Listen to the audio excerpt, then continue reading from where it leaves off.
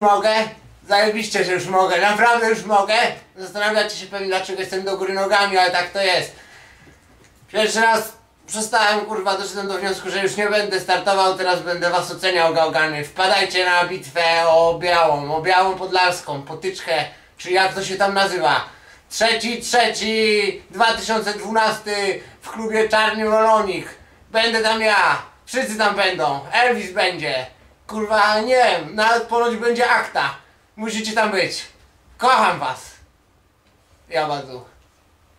I git majonez.